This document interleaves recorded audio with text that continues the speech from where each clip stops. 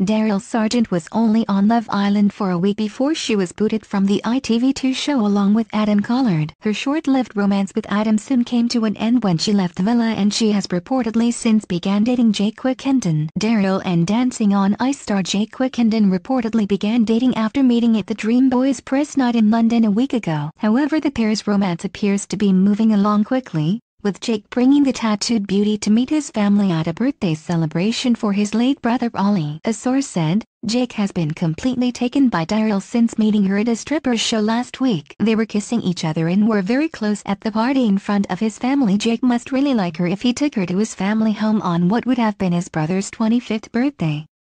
Darylle can be seen standing in front of a shirtless Jake in a picture from the day shared to Instagram. The brunette is wearing a cold shoulder cream dress, as she smiles while posing with the rest of Jake's family at the birthday bash. Jake has been single since April after the breakdown of his engagement to Danielle Fogarty, whom he proposed to just seven months previously. Prior to Darylle, he was linked to former Made in Chelsea star Emily Blackwell. Okay.